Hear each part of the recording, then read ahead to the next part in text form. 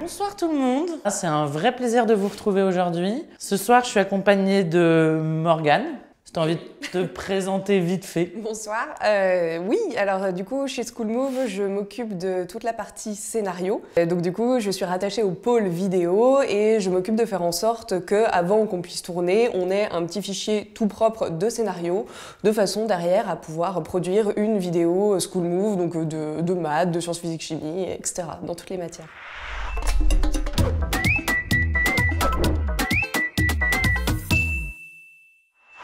Ok, bah on peut commencer direct du coup avec euh, la présentation du, brevet. Au niveau du français, donc pour rappel, le brevet c'est un examen sur 400 points euh, et le français sur ces 400 points représente 100 points. À l'intérieur du français, vous avez trois petites épreuves distinctes, donc euh, l'étude de texte, la dictée et la rédaction. L'étude de texte c'est 50 points, la rédaction c'est 40 points et la dictée c'est 10 points.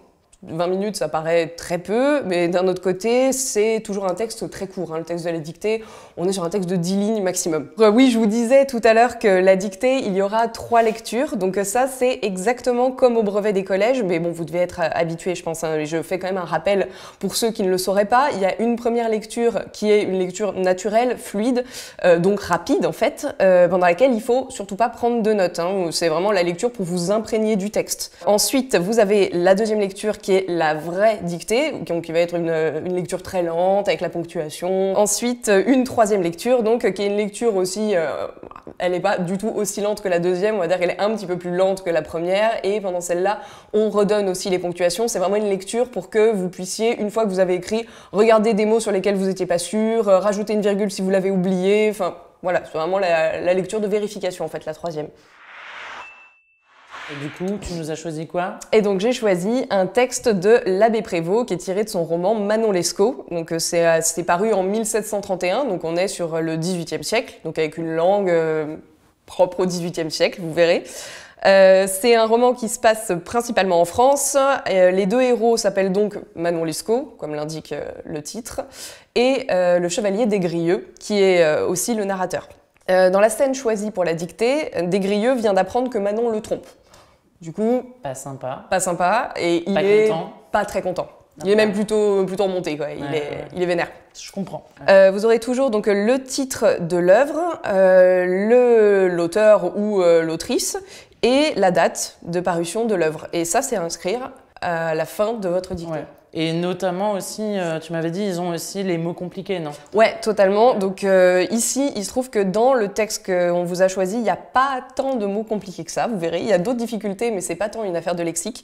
Je vous ai quand même mis le mot transport. Alors en soi, je pense que vous savez écrire transport, c'est juste pour que vous soyez pas déstabilisés, parce que ici, il est employé. C'est pas un transport, euh, c'est pas un moyen de transport en fait. hein. C'est euh, une, euh, une expression qui, qui est datée, qui, est- qui était utilisée au XVIIIe siècle, qu'on utilise vraiment plus trop aujourd'hui, et qui veut dire euh, une, un sentiment très vif, euh, une, une émotion très forte. Et donc, euh, attention à deux autres choses. Le narrateur, donc euh, comme je vous l'ai déjà dit trois fois, je me répète énormément, c'est le chevalier des Grieux, donc c'est un homme. Notez-le bien, quoi. Du coup, le jeu est masculin. Rappel aussi à la première personne au passé simple, donc à- avec je. Il y a euh, quelques verbes qui ressemblent beaucoup, enfin qui sonnent exactement pareil en fait que les verbes à l'imparfait à la première personne. Et moi, quand je l'ai testé, la dictée, je me suis gourée. Ouais, mais Alors- parce que c'est pour ça on s'est dit qu'il fallait vous prévenir. Franchement, euh, c'est un des petits pièges. Et du coup, on vous donne une petite astuce. Moi, je te fait. propose de, de lancer. Eh ben allez, Let's go. C'est parti, que tout le monde a le matos, on est, tout le monde est prêt, voilà. Donc concentrez-vous ils sont bien. dans les starting blocks. Première Donc du coup, lecture. première lecture, pas de prise de notes. Ouais. C'est juste pour que vous preniez connaissance du texte. Elle fut si épouvantée de ce transport que, demeurant à genoux près de la chaise d'où je m'étais levée, elle me regardait en tremblant et sans oser respirer. Je fis encore quelques pas vers la porte, en tournant la tête et tenant les yeux fixés sur elle. Mais il aurait fallu que j'eusse perdu tout sentiment d'humanité pour m'endurcir contre tant de charme. J'étais si éloignée d'avoir cette force barbare que, passant tout d'un coup à l'extrémité opposée, je retournai vers elle, ou plutôt je m'y précipitais sans réflexion. Je la pris entre mes bras, je lui donnai mille tendres baisers. C'est vraiment assez court. C'est assez court. Et c'est euh, là, on est sur un, sur un truc qui ressemble quand même à ceux qui, qui auront a priori au brevet. Oui, c'est la même longueur, Ouais. c'est euh, le même ordre de difficulté. Je vous cache pas que c'est pas spécialement facile, mais en même temps, c'est le brevet, c'est normal. Mais euh, vous verrez qu'il n'y a pas non plus une difficulté folle. Ouais. Est-ce qu'on part sur la deuxième lecture? Ouais. Allez, c'est parti. Elle fut si épouvantée de ce transport. Elle fut si épouvantée de ce transport. Elle fut si épouvantée de ce transport que, virgule, Elle fut si épouvantée de ce transport que, virgule, demeurant à genoux,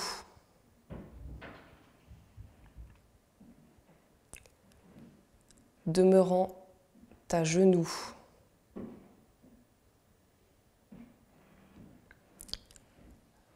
près de la chaise.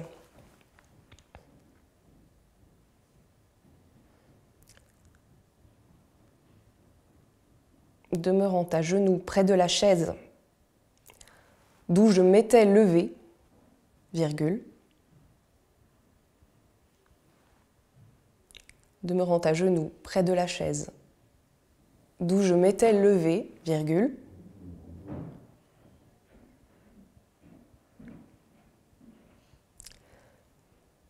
elle me regardait en tremblant, elle me regardait en tremblant.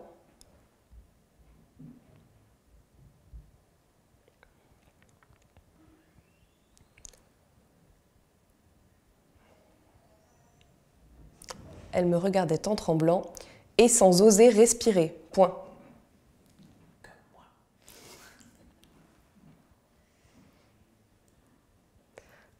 Et sans oser respirer.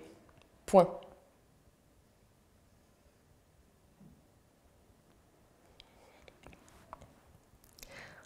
Je fis encore quelques pas vers la porte, virgule. Je fis encore quelques pas vers la porte, virgule.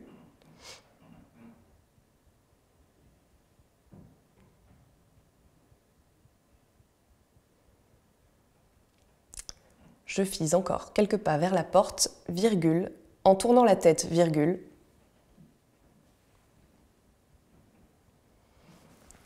En tournant la tête, virgule. Et tenant les yeux fixés sur elle, point. En tournant la tête, virgule. Et tenant les yeux fixés sur elle, point.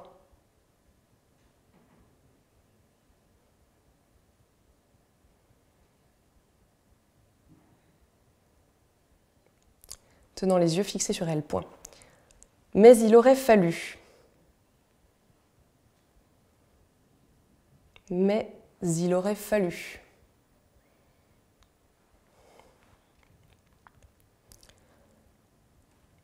Mais il aurait fallu que j'eusse perdu tout sentiment d'humanité.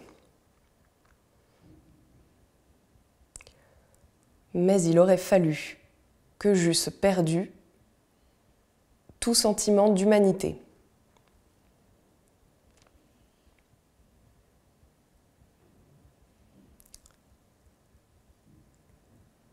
Que j'eusse perdu tout sentiment d'humanité pour m'endurcir contre tant de charme. Point.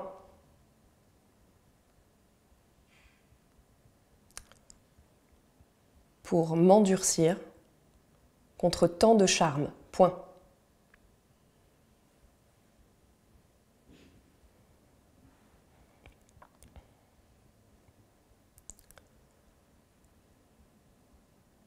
j'étais si éloignée d'avoir cette force barbare, j'étais si éloignée d'avoir cette force barbare,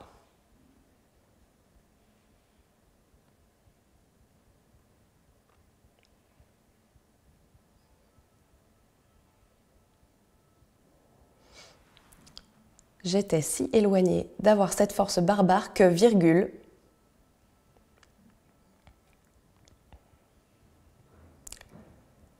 virgule, passant tout d'un coup à l'extrémité opposée, passant tout d'un coup à l'extrémité opposée, virgule,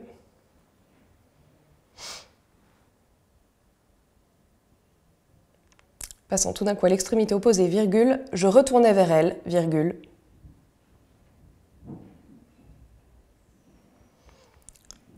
je retournais vers elle, virgule, je retournais vers elle, virgule, ou plutôt, virgule, ou plutôt, virgule, je m'y précipitais sans réflexion. Ou plutôt, virgule, je m'y précipitais sans réflexion. Point.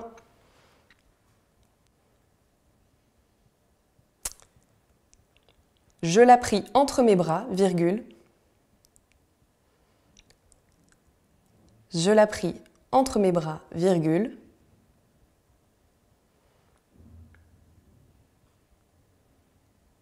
Je lui donnais mille tendres baisers. Point. Final. Je la pris entre mes bras, virgule. Je lui donnais mille tendres baisers. Point final. Et on n'oublie pas le titre. Et, tout à fait, comme on le disait tout à l'heure, normalement vous l'avez affiché, le titre plus le nom de l'auteur plus la date, et vous pensez bien à souligner le titre. Euh, c'est fini, non? Euh, c'est pas fini, il y a la troisième lecture du coup, donc euh, qui va être, ça va pas être du tout aussi lent, hein, on va être sur une lecture qui ressemble à la première, mais où je vais donner aussi la ponctuation. Allez, bah c'est parti pour la dernière lecture du coup. Elle fut si épouvantée de ce transport que, virgule, demeurant à genoux près de la chaise d'où je m'étais levé, virgule, elle me regardait en tremblant et sans oser respirer. Point.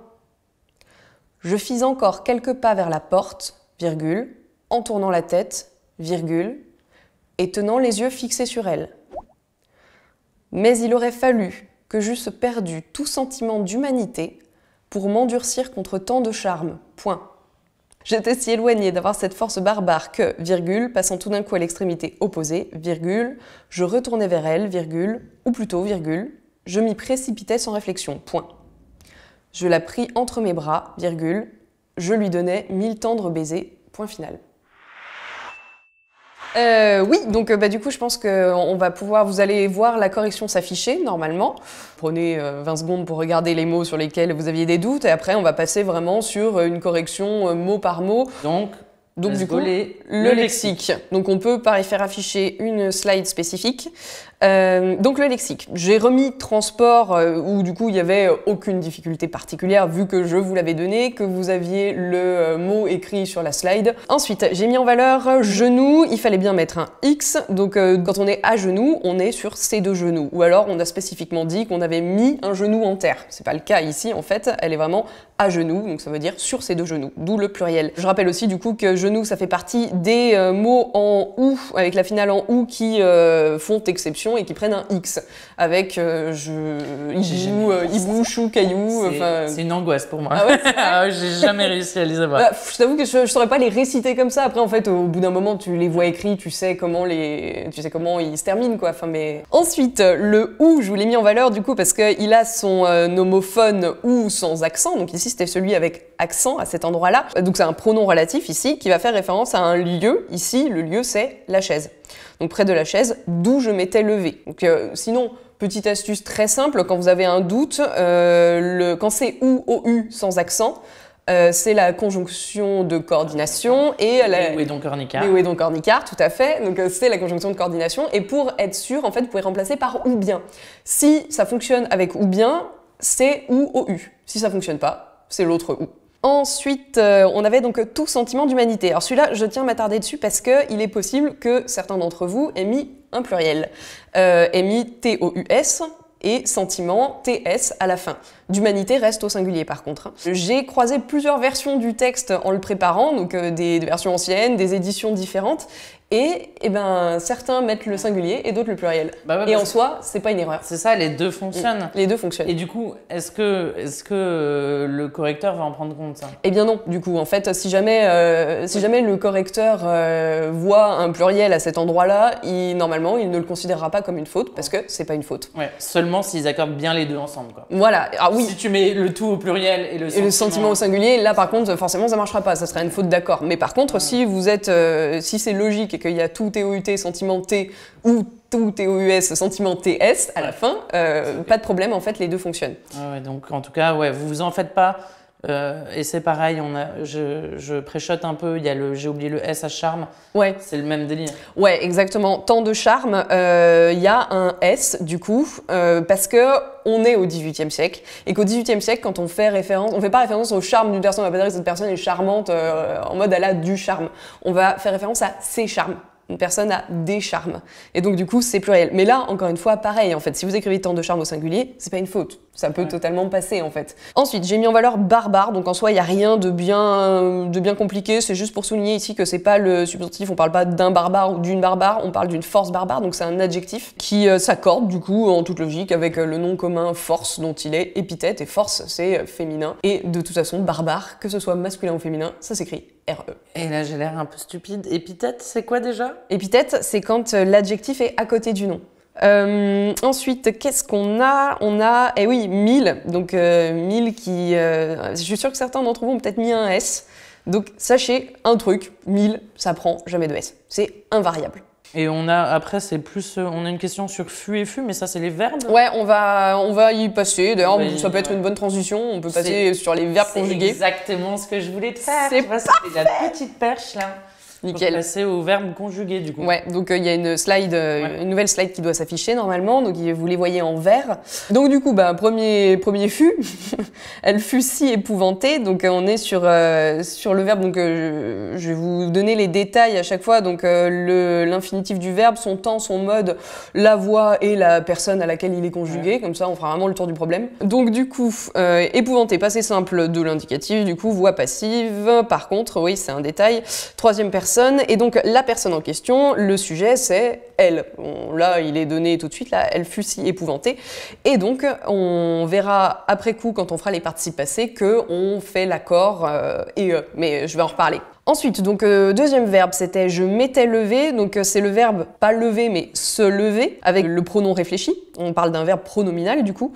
Euh, le temps, c'est le plus que parfait. De l'indicatif, voix active, première personne, rien de bien particulier, hein, c'est du plus que parfait, donc on l'a formé avec l'auxiliaire être ici, conjugué à l'imparfait, plus le participe passé, sur lequel, pareil, on reviendra tout à l'heure pour l'accord. Ensuite, on a regardait, donc a priori, là non plus, pas de difficulté particulière, pour le coup, c'est bien un imparfait à la troisième personne, Euh, troisième personne à l'imparfait, ça fait toujours AIT. Ensuite, donc je fis encore quelques pas vers la porte, donc on est sur un passé simple, le verbe faire, indicatif, de première personne. Euh, pareil, aucune difficulté particulière, faut connaître ses conjugaisons, et notamment celle du passé simple, euh, comme, euh, comme les autres en fait. Du coup, ici, donc euh, aurait fallu, c'est le verbe falloir.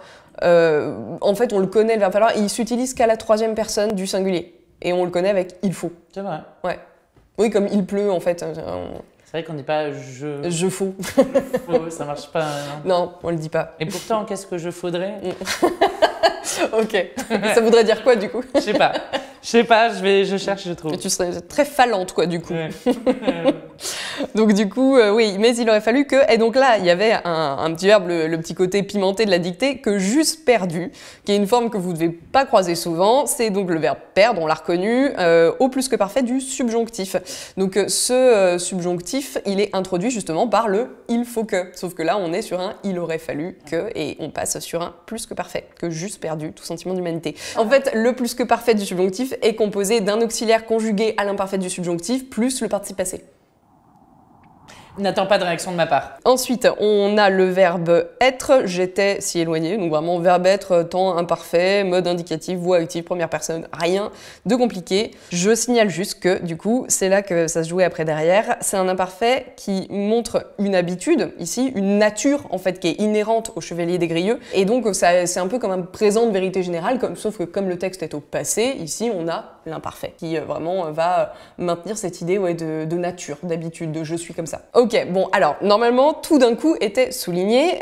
Pourquoi? Parce qu'en fait, c'est là que ça se joue. Après, derrière, vous avez une succession de verbes au passé simple. Donc, que ce soit retournait, me précipitait, pris ou donnait, on est sur du passé simple. Donc du coup, les finales en est étaient AI et pas AIS parce qu'on n'était pas sur de l'imparfait. Et donc ça se jouait là sur le tout d'un coup. Tout d'un coup, ça va montrer que on, pouf- on arrive dans l'action en fait là d'un seul coup. Donc on repart sur un temps du récit et le temps du récit, quand on est dans un récit au passé, c'est le passé simple. Ouais, donc on avait, pour ce truc-là, on avait deux petits indices, quoi. Le tout Ouais. d'un coup et le je l'ai pris qui était euh, Voilà, ouais. a priori pas assez simple, quoi. Mm.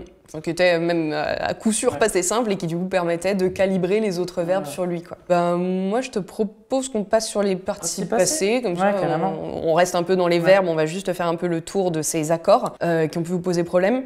De, deux rappels du coup sur les participes passés. Euh, Lorsqu'il est, donc vous savez qu'il est, euh, quand il est dans un verbe conjugué, le participe passé, il est précédé soit de l'auxiliaire avoir, soit de l'auxiliaire être. Lorsqu'il est précédé de être, il va s'accorder, le participe passé, en genre et en nombre avec le sujet. Euh, je, je suis partie, je suis une femme, donc du coup je vais écrire IE.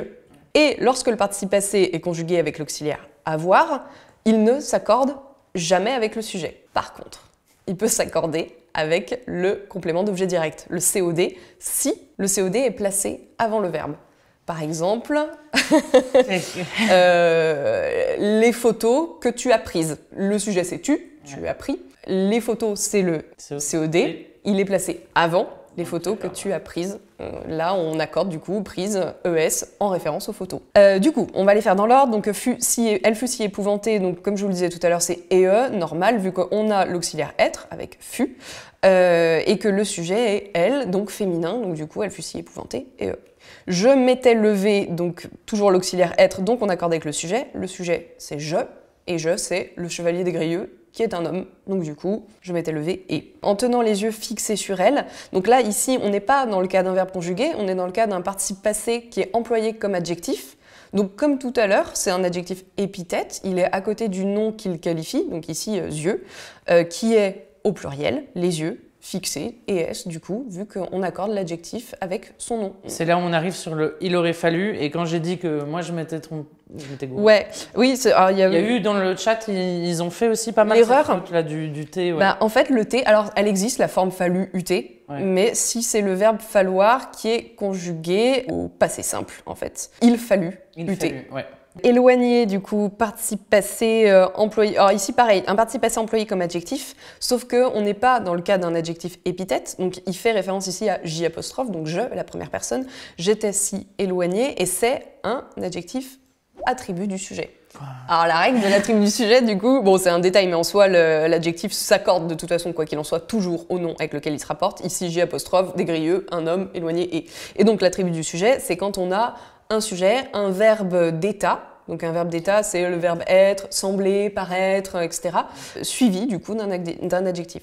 J'étais éloigné. Et ensuite, le dernier, donc euh, à l'extrémité opposée, donc euh, là, exactement comme yeux fixés, hein, finalement, on est euh, à nouveau dans le cas d'un adjectif épithète, un participe passé employé comme adjectif qui s'accorde ici avec extrémité, qui est féminin, on dit une extrémité, et donc opposé et e. Et ben on va passer au dernier point, dernière slide, rien de très compliqué, on est vraiment sur vraiment la, la fin des, des difficultés.